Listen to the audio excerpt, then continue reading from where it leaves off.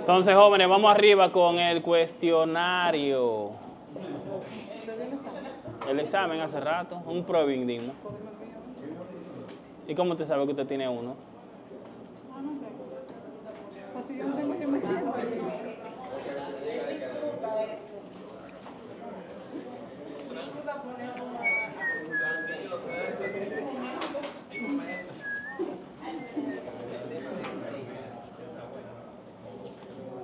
Yo voy a ver si hay uno vacío. Pero no se preocupe, usted me lo da después. ¿Cómo que después? Si hoy es el último ve- la última vez que usted... No. Tiene que aparecer uno por ahí.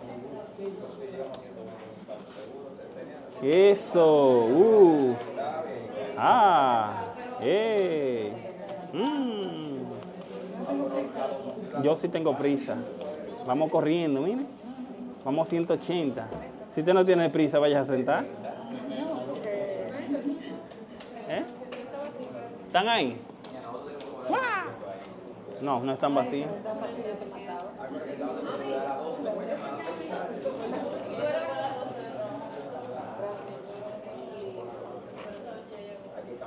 Entonces, jóvenes,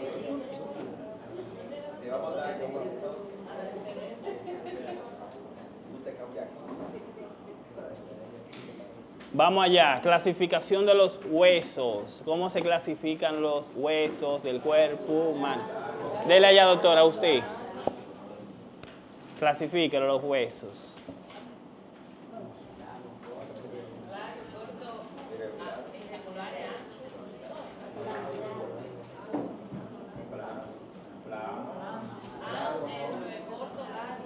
Gordo.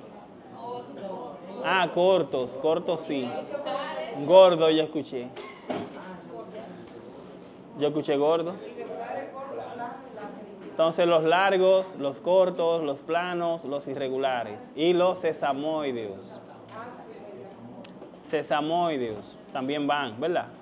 Entonces, ¿cuántos huesos tiene, doctor? Allá, el esqueleto axial.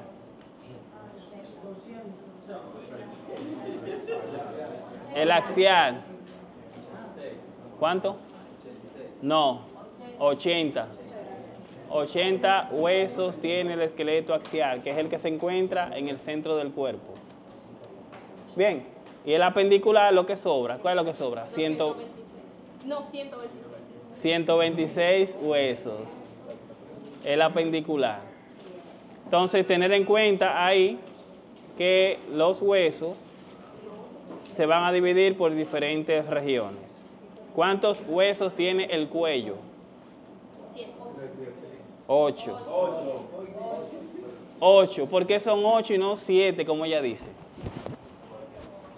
¿Por qué usted dice que son 7? Bueno, yo estaba contando lo que está. Las vértebras. Ella cuenta Ay, 7. sí, me, me acordé de dioides. Y el hueso que no se puede olvidar, que siempre lo, lo menosprecian, ¿cuál es el que falta? El hueso ioides. Mírenlo ahí donde está. Exacto. Ese hueso que está ahí es el hueso ioides, que forma el esqueleto de la lengua. No, pero ahí, está- ahí estaba ahí desde siempre. Él estaba siempre ahí, miren. Lo giramos y ahí apareció de la magia. Mandrake, el mago. Lo llegaron a ver los defensores de, de la tierra. Mandrake. No, Mandrake salió fue de la vaina esa del muñequito. Mandrake, el mago. Y está el fantasma, el fantasma. Que tiene un anillito ahí. No, ese no, porque ese, ese, porque ese sale del army y ese sale de los muñequitos, le ponen de que mandrake, pero mandrake es el mago, que es más viejo todavía. Porque mandrake es un carajito. Amigo Kiko y Crazy, míralo ahí. Y del Foter. ¿Para qué? ¿Para qué? Y eso, es- y eso es tiempo. Pues eso llega a inflamación y que llega ya se queda ahí. Es una esponja. Información que llegó. Ustedes vieron lo que le tiró Tecacha a Yeli. Entonces, señores, seguimos acá. ¿Cómo? ¿Y ¿En qué mundo que usted vive? ¿Usted vio el accidente de, Asua? De las Yayas. El camión de aguacate. Ese teteo que estaba ahí, en medio de la calle. Tiene que activarse, doctora. ¿Y usted no vio la noticia que hay de los haitianos en las escuelas? Pero usted no se enteró que hay muchos haitianos en la escuela, ¿verdad? Buenos días. No manda al hijo suyo para la escuela cuando, cuando lo tenga. ¿No lo va a tener? Ella es autodidacta, él se mantiene solo en la casa. Él es como Juan Bosch, nunca fue a la escuela, pero es profesor. ¿Oyeron? ¿Verdad? A usted le dijeron en la escuela que Juan Bosch nunca fue a la escuela. ¿O sí? ¿O no? Pero él, él era profesor. El profesor Juan Bosch. Dicen en la biografía de que nunca fue a la escuela. Él fue autodidacta, aprendió solo. Pero le dicen el profesor. ¿Y a qué iba a la escuela entonces? A Balaguer, ¿cómo le decían? El ratón come libro. ¿Por qué? Sí, porque siempre iba de Navarrete, siempre vivía metido en la biblioteca en Santiago, comiendo libros ahí. Y de ahí salió cuentista, haciendo cuentos. Sí, ¿usted ha ido los cuentos de Balaguer? Aunque sea uno. No, no solamente es política, sino cuento también. Hay que vivir del cuento. Yo estoy aquí haciéndole cuento a ustedes. Entonces, señores, tener en cuenta. ¿Cómo? Los sábados yo no tengo nada que hacerle 2 a 4, vengo para acá hacerle cuento a ustedes.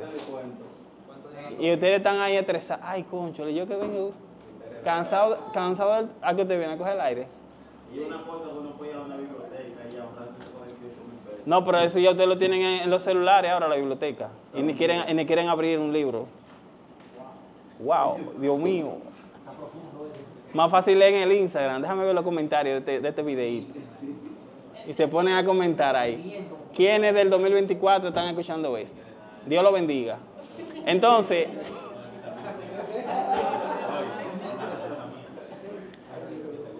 aquí miren, señores, con relación a las demás estructuras del cuello, recuerden hay siete vértebras cervicales, la primera se llama atlas, que es la que sostiene la cabeza, y el axis es la que ayuda a girar la cabeza hacia los lados. Y el atlas nada más es decir que sí. Perfecto. Entonces, tener en cuenta ahí los músculos que están en el cuello, algunos ligamentos que se pueden incluso romper cuando uno tiene un accidente de tránsito. Vamos a enseñar esos ligamentos. Y ahí se produce lo que se conoce como latigazo cervical. Por ejemplo, si usted está sentado en un vehículo y el vehículo está eh, estático, viene otro vehículo por detrás, le da y se pueden romper estos ligamentos de la nuca que están aquí o en la, de la parte anterior de la vértebra. Y eso puede contundir la médula espinal. Entonces usted va a tener un dolor del cuello al otro día, al inicio quizás el susto, la liberación de adrenalina que usted tuvo, no le produjo nada, oh no, vete mijo, el carro no tiene nada. Despachó el tipo para su casa. Ay, mi amigo. Entonces al otro día usted está con un dolor del cuello. Dice que amaneció con una mala postura. Y eh, fue en este caso una lesión de estos ligamentos. Le hacen estudios de radiografía a ver si usted tiene alguna fractura. No tiene nada. Pero usted va a tener que andar durante un tiempecito con un collarín, para arriba y para abajo. Va a tener que pedir licencia del trabajo porque el dolor del cuello usted no lo aguanta. Va a tener que ir a rehabilitación, o en este caso a fisioterapia, para que le den un masajito a nivel del cuello. Y dinero que vienen, dinero que van, y después le dicen, ah, mira, tú lo que tienes es una lesión de latigazo cervical. Eso se recupera durante tanto tiempo. Va a tener que tener licencia de trabajo, no te la vamos a pagar. Y de ahí en adelante, tranquilita en tu casa, en, en reposo. El seguro te podía cubrir todo eso si reportaba el choque que te dieron, aunque el vehículo no tuviera nada. Y aquí están acostumbrados que si el vehículo no tiene nada, yo no reporto. Y si un motorista que le trae, dame 5 mil, déjalo así. ¿Eh? El motorista te trae y te dice, dame 5 mil, déjalo así. Te le rompió un foco ahí. O te le rayó la puerta. Mira mío, y ese hace la, la víctima. Tirado en el piso con un dolor. ¡Ay! Dame 5 mil, déjalo así. Es un negocio. Cada, cada vehículo que tú veas te le tira, pa, 5 mil en un día. Tres vehículos. Ya tiene 15. En Estados Unidos hay gente dominicana que se hacen la víctima para demandar gente. Ah, yo me voy a hacer de rico allá demandando gente a dos manos. Voy a tirarme ese vehículo o me mocho un dedo, demando a la empresa. Pero ahí te agarran y qué? Te tienen chequeado siempre. Ah, pero este es reincidente en eso, demandando gente. A este no lo vamos a contratar. Entonces, él, pensaba que había descubierto la, la fórmula del agua tibia. Pero hace rato ya que eso estaba hecho. Entonces, tener en cuenta esa partecita ahí a nivel del cuello, que es importante. En cuanto a las articulaciones, la articulación del hombro, ¿cómo se llama? La articulación del hueso húmero, acá, con la escápula, ¿cómo se llama? Articulación del hombro o articulación gleno-humeral. Gleno-humeral. Gleno-humeral, ¿por qué? Porque hay una cavidad que se llama cavidad glenoidea, que está en la escápula, que es esta, que es la que va a estar articulando con la cabeza del húmero. Entonces la, artic- la articulación glenohumeral permite movimiento de flexión, extensión, abducción, abducción, rotación interna, rotación externa. Y la circunducción, que es un movimiento en 360 grados. Esos son todos los movimientos que cumple esa articulación. ¿Qué, ¿Cómo se llama aquí? La articulación glenohumeral. Entonces, esa articulación, recordar, es la que más sufre cuando hay que, en la cabeza del húmero se sale, hablamos de una luxación de la cabeza del húmero. Y es la que más se luxa, en este caso, la articulación del hombro. Que ustedes conocen eso, que se le zafó un brazo. Ah, mira, fulano tiene un brazo zafado porque está jugando pelota. Le ponen entonces un vendaje para que tenga ¿qué? reposo, inmovilización durante 21 días. O si continúa con eso, lesionó los músculos que refuerzan esa articulación. ¿Cómo se llaman los músculos que refuerzan la articulación aquí? Manguito de los rotadores. Entonces se lesionó los músculos que están ahí reforzando esa articulación, que son los músculos del manguito rotador. ¿Cuáles son los músculos del manguito rotador? Usted misma, licenciada, ya que me entrega esto. Supraespinoso. No, el mayor no. El subescapular. Te noten esto, compañero, está fallando en varias respuestas. Ah, puede ir respondiendo cada una de las cositas. Y si falló en una, ya. Usted no ten esto, a estudiar, está flojo. Entonces sería supraespinoso, infraespinoso, redondo menor y el subescapular. Ahí vemos, supraespinoso, su tendón. De ellos cuatro, ¿cuál es el que más se desgarra o más inflama? No. El supraespinoso, porque miren por dónde él pasa. Mire. Él pasa justamente debajo del acromio. Ese espacio es muy reducido para él. Entonces, mire, eso usted, que quién lo puso ahí, Dios. Dios dijo, vamos a poner el supraespinoso entrando por una escotadura que hay ahí, un espacio entre el acromio y el hombre, el húmero en este caso. Entonces él llega aquí a la parte superior del húmero. El infraespinoso. ¿Qué pasa? Si se inflama, el paciente no va a poder elevar el hombro, no va a poder peinarse. Es una función importante para la mujer peinarse, ¿verdad? Para el hombre no, porque el hombre total lo hace con la otra. Entonces, una tendinitis, ¿qué es eso? Tendinitis. Inflamación del tendón, el tendón de ese músculo. Y luego eso me puede inflamar qué? Esto que se ve aquí cubriendo el músculo, al tendón en este caso. Eso es la bolsa sinovial. Entonces, me puede entonces inflamar esa bolsa sinovial y ahí hablamos de qué? De una bursitis. Una bursitis. ¿Qué es la bursitis? Inflamación de la bolsa.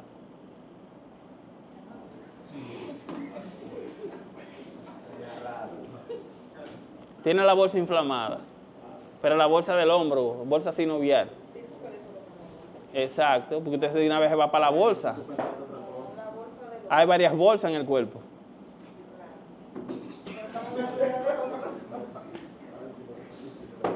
Si es un señor que le dice que le pica la bolsa,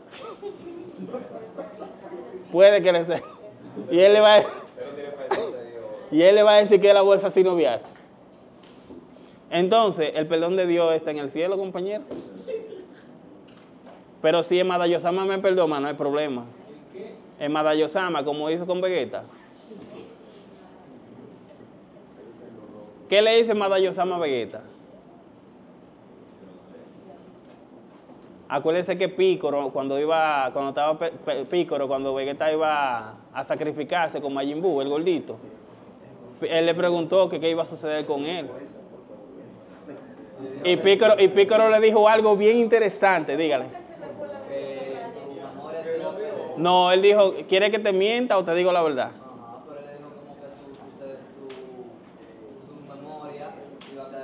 Exacto. Y entonces su alma iba a ser enviada para otro lado, para el inframundo. Y él iba a reencarnar en otra gente que no era él. ¿hace cuánto tiempo te dio eso? Yo estaba carajito, yo me, yo me, escap- yo me escapaba de la escuela para ir a verlo. Y se iba a la luz, papá, en el año 2000, 2001. Hipólito suspendió una reunión, me acuerdo yo en esa época. A las 4 de, a las 5 de la tarde no me lo ponga porque tengo que ver a Goku. ¿Usted cree que no? Y después de ahí él dijo, no, vamos a poner un toque de queda. Y lo pusieron a las 10 y media de la noche, en el 11. En la tarde no había luz. Entonces, para verlo bien, tenía que verlo en la noche, a las 10 y media. En un colmadito, afuera, ponían el televisor. Los motoconchos y todo el mundo ahí. La mejor época esa. Ahí se jugaba la libertad, en la calle, en las escondidas americanas. Ey, eso vaina se juega ahora. Ahora juegan en tabla y vaina.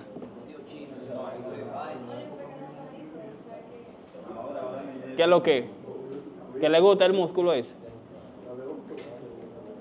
¿Le gusta el superpinoso? Pero le estamos dando hace rato. ¿Qué es lo que estamos haciendo? Repasando. Porque ya la clase, acuérdense que ustedes saben eso.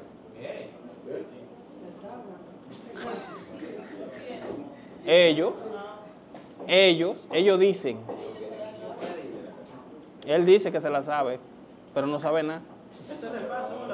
Esto es un repaso sencillo, porque acuérdense que ya la clase solo vimos en los músculos y en las articulaciones. ¿O usted cree que vamos a venir de nuevo a ver lo mismo? No. Examen. Esto es para intervenir el tiempo, para que ustedes se entretengan viendo eso. Oye, ¿de qué examen? Ellos creen que es una chelcha, de que ganando tiempo ahí para que los musculitos que se vean ahí lesionados, ya con eso vamos a entrenarlo, haciendo esto. Entonces tiene que saberse qué hay, cómo se entrenan esos músculos, el manguito rotador. ¿Verdad? Porque si usted no lo entrena, ¿qué pasa? Usted va a tener problemas en el hombro. Y cuando usted está haciendo deltoide lateral, de que con una PC25, 30 libras, se embromó, ya te sabe. ¿Y qué pasa ahí? Una tendinitis, inflamación, ¿por qué? Por el ejercicio, ejecutarlo mal. El problema no es el peso, sino la técnica. Ah, ¿y qué le parece esa ahí? Como Babidi. Babidi hizo muchas cosas buenas. Se comió a Popovich así. Entonces, el infraespinoso, el amigo de Jan, esto aquí el infraespinoso. Este, infraespinoso, redondo menor. El redondo mayor, recuerden que no forma parte del manguito rotador. Aquí tenemos tríceps braquial. Tríceps braquial, recuerden que tiene tres cabezas. Cabeza larga y tiene también los, la cabeza lateral y medial, o bastos. Acción de este, extensor del codo. Sí. Por delante de él tenemos un músculo antagonista a este, que se llama como músculo bíceps braquial. El bíceps braquial tiene dos cabezas, una cabeza larga y una cabeza corta. Orígenes distintos. Bien, ambos orígenes es a nivel de la escápula y terminan a nivel del radio. Por lo tanto, primero la acción de él es supinación y luego flexión del codo. Dos acciones diferentes. Un músculo que está debajo aquí de la, del bíceps, en la parte superior, es el coracobraquial. porque es su nombre córaco, desde la apófisis coracoide hasta el brazo, córaco braquial. Por lo tanto, este músculo córaco braquial lo que hace es que flexiona, miren aquí, él está por encima de la articulación del hombro. Él es flexor del hombro. Hace esto. Cuando usted está, por ejemplo, con una mancuerna, dando la deltoide anterior, ¿qué usted está haciendo? Flexionando. Hombro. O puede estar en polea o puede estar con un disco, dándole al mismo tiempo a las dos extremidades. Esa sería flexión del hombro.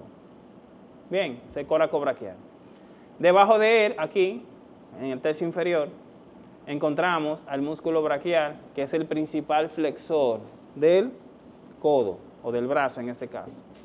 Independientemente de cómo usted tenga la posición aquí en el codo, este va a estar ejecutando su acción.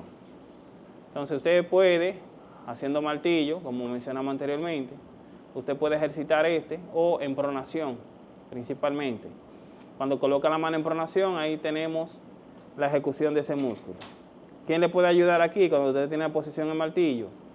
El músculo brachioradial, que sería uno de los laterales. Vamos a ver. Este, brachioradial. El brachioradial también ayuda al bíceps, a la supinación y a la flexión. Brachioradial. Este.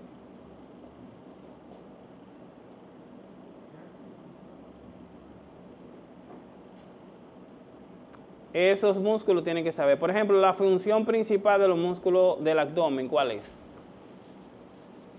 O con esa lo agarré ahí. Función principal de los músculos del abdomen, ¿cuál es? Ahí está. Es un repaso, respondan. ¿O quieren seguir hablando de Babidi? Hablen de Majin Buu aquí. Señores, principal función de los músculos del abdomen es protección de los órganos. ¿Para qué están esos músculos ahí? Para protegerte. Acuérdense que el abdomen es un pu- punto débil del cuerpo humano. No. A una persona le dan con un bate ahí, ¿qué es lo que le pasa?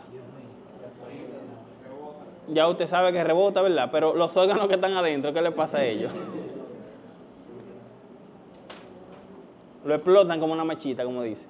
Entonces, aquí de este lado, recuerden si el hígado está de este lado en el hipocondrio derecho, cuando hay una fractura de una de esas costillas, le cayó una pesa o le dieron con una barra de una pesa ahí, le fracturó una costilla, hay un órgano ahí adentro. ¿Quién? El hígado, de ese lado. Si es del lado izquierdo, el bazo. Esos son los órganos que hay que proteger ahí, por eso ellos están cubiertos por la costilla y son los que más fácil se pueden romper, se lesionan ahí. Puede producir un sangrado, una hemorragia interna y el paciente se muere. Ustedes andan un motor ahí afuera, pa, se cayó y se dio con el contén, se dio en el costado, que Dios no lo quiera. Pa, y usted se para y se ve en su motorcito. Llegó a su casa, normal, con un golpecito ahí, no fue al médico, y allá entonces viene, pa, una hemorragia interna, y lo encontraron fallecido al otro día. Firmó con los angelinos. ¿Qué le pasó ahí? ¿Ha ocurrido así? Personas que tienen accidente o que tienen un traumatismo, se van para su casa, no le duele nada, pero tienen un órgano adentro roto. En este caso el vaso, que es un órgano frágil, vamos a señalarlo aquí. En conclusión, chequese, porque usted no sabe lo que usted tiene. Al vehículo suyo le está sonando una pieza y usted no sabe lo que tiene, no le sube el radio, como hacen las mujeres que le suben volumen al radio, en lo que llega a la casa.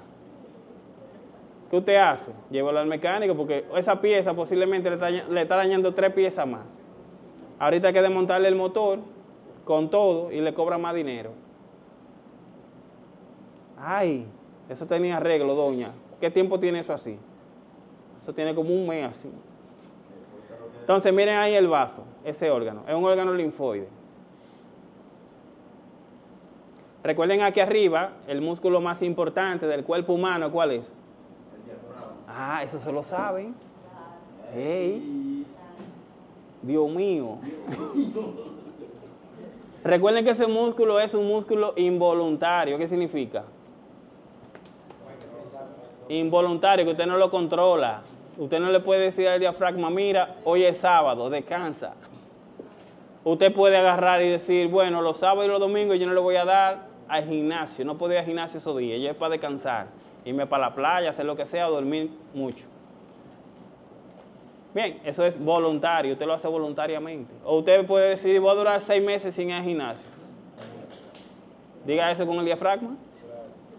No voy a ejercitar el diafragma hoy. El diafragma no lo voy a utilizar por un mes. Mínimo usted va a estar con un tubo endotraquear ahí para que respire por usted. ¿Qué usted opina, compañera? Yo, yo no opino nada. Entonces, señores, eso es en cuanto a esos músculos. Recordar los músculos, funciones de ellos. Menciónenme cuatro funciones de los músculos. Vamos allá. Cuatro funciones de los músculos. Ahorita le salen el examen, rayita, rayita y rayita, para que usted lo ponga. Número uno, protección de órganos. Hey, número dos, movimiento. Se contraen para generar movimiento. Número tres, sí. Número cuatro, es lo mismo. Número cuatro, sí, pero es lo mismo. Número cuatro, generar calor. Cuando usted hace movimiento, usted no le da calor, usted no suda en el gimnasio. ¿Por qué usted suda en el gimnasio cuando hace ejercicio? Es la pregunta del millón. Exacto, ahí usted sabe que usted tiene que ir limpiando porque a través de esos sudores se pegan enfermedades y usted no sabe lo que pasa con esas enfermedades dermatológicas de la piel. Por eso lleve su toallita y use su vainita ahí limpiando. Usted terminó, limpie y usamos alcohol para fijar esa bacteria porque sabe que usted no sabe quién está ahí y si ese individuo no se bañó antes de venir para acá. Los músculos se contraen para generar movimiento, pero ellos también generan calor. Acuérdese que cuando usted está en el río y la agüita está fría, ¿qué usted hace? Te tiembla ahí adentro, pero no quiere salir de esa agüita. En Contanza, para allá, Jarabacoa. A las 6 de la mañana en un río metido. Dios mío, ¿y qué es lo que le hacen en un río a las 6 de la mañana? Sí, un, invierno. Dele, compañero. Está tibia ahí. Ah, mire, es un dato, está tibia es agua. Depende de dónde, ¿verdad? Ah, pues a usted le gusta ir de noche. ¿Usted agarra jaiba de noche? La jaiba es buena agarrarla de noche, ¿no? Los que saben, saben, saben que eso es bueno agarrarlo de noche y los cangrejos. Guisae, pero para agarrarla, ¿eh? Usted no ha ido por la autopista Duarte, por ahí, después de Villa Altagracia, esos tigres que están con un palito lleno de jaiba. ¿Y a usted no le gusta la, la jaiba, quizá? El que come eso, señores, come cucaracha. Recuerden, señores, que los camarones, los camarones son la cucaracha del mar, o la cucaracha del agua. Los camarones. Es lo mismo, son familia. Camarón langosta es lo mismo todo. Uno más grande y otro más chiquito. Cucaracha grande, cucaracha chiquita. ¿Y cara qué son? Eso es baratísimo. Caro es agarrarlo el procedimiento. Pero hay gente que le encanta eso. Sin saber qué es lo que le están diciendo. ¿Le gusta el cangrejo a usted? El cangrejo, recuerde, la cabeza, ¿qué es lo que ellos tienen? ¿Qué tienen los cangrejos en la cabeza? La puputa en la cabeza. Por eso es que ellos no piensan y caminan para atrás o para los lados. Para los lados.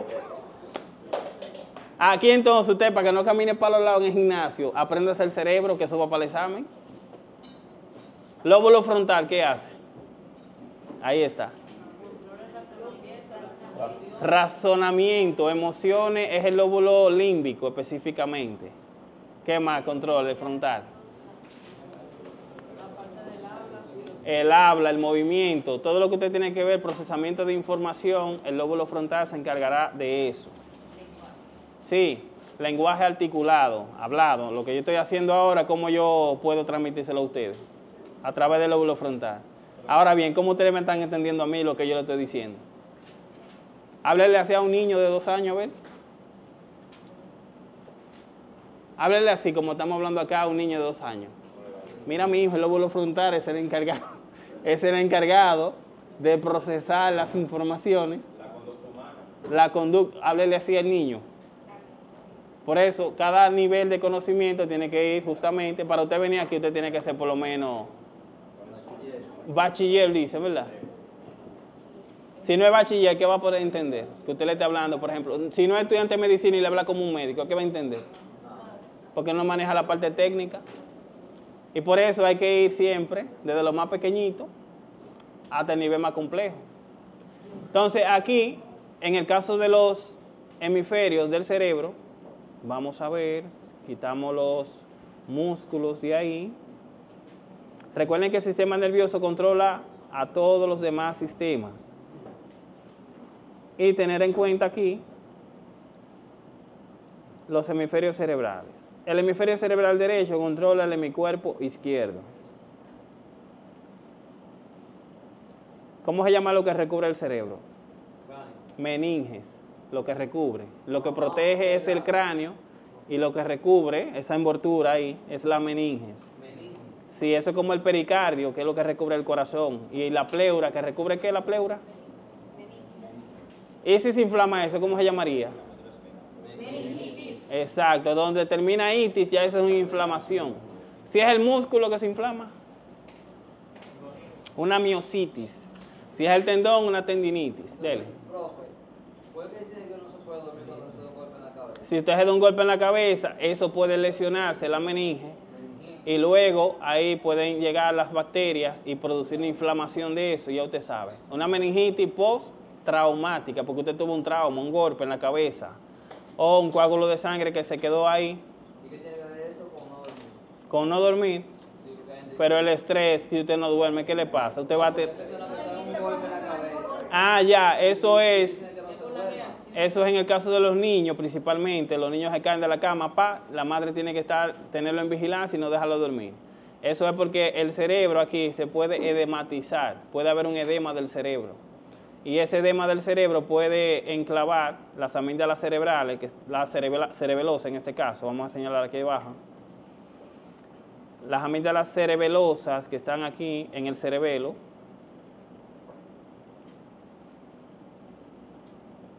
esto. ¿Qué pasa con esas amígdalas? Pueden comprimir el bulbo raquídeo. Y el bulbo raquídeo es donde está el centro cardiorrespiratorio. Y eso entonces el niño puede quedarse en coma. Sí, en un coma. Entonces, por eso no se puede dejar dormir.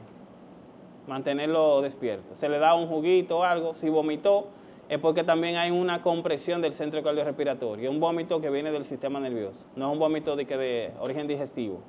De que por un parásito o algo que tiene en el estómago. Entonces, es un vómito de origen central, sería. Bien, entonces el cerebelo se encarga de tres funciones principales. ¿Cuáles son las funciones del cerebelo? Vamos arriba. Equilibrio, postura y coordinación de movimiento. Movimiento fino. Entonces, si usted camina de manera recta, lo que hacen los trapecistas, por ejemplo, equilibrio. Usted tiene que equilibrarse. Usted gasta más de lo que cobra. Hay un desequilibrio ahí. Entonces, mayoría de dominicanos gasta más de lo que gana. Porque no hay equilibrio, porque en la escuela no le dan matemática financiera. ¿Cómo usted administrarse desde la escuela, desde el inicio? A usted le enseñan en la universidad qué, cómo dar información, cómo procesar, pero no le enseñan cómo a usted ahorrar o cómo usted, cómo usted tener dinero ya desde que usted se terminó para que, de que busque un trabajo. No, usted tiene que poner su, empre- su empresa y su vaina con el dinerito que usted ahorró durante la universidad. No de que salir por ahí a regar currículum a ver qué es lo que es. Y que no, mismo, tú tienes Le enseñan eso a usted en el boxeo. Después que usted tiene los cuartos. Usted empieza a tirarlo para arriba y va para la discoteca y eso. Los peloteros, ¿qué hacen después que le ganan? Que se firman. Compran jipeta, compran una casa y no ahorran. Esos son los, los derrochadores ahí. Entonces, en este caso, la parte del cerebro es importante, las conexiones que tiene. Lóbulo temporal, aquí se encuentra la parte de la memoria, específicamente a nivel de la amígdala cerebral. Entonces la amígdala cerebral, vamos a ver aquí. Aquí tenemos esta parte, el cuerpo amigdalino. Esta zona es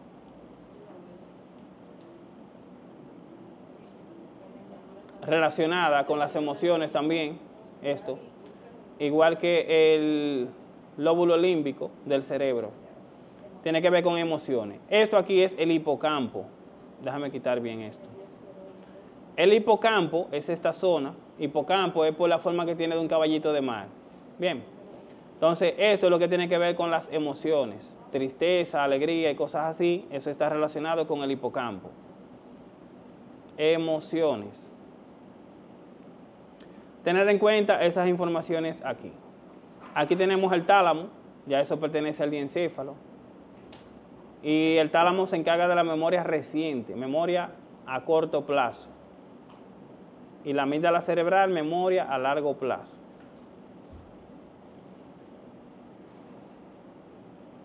Lóbulo parietal, el lóbulo parietal, recordar, se encargan de las funciones de la sensibilidad, la parte sensitiva, lo que usted siente, la temperatura, el frío, el calor, el dolor, eso es llevada esa información al lóbulo parietal.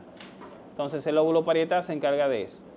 El occipital se encarga directamente con la visión, reflejos visuales.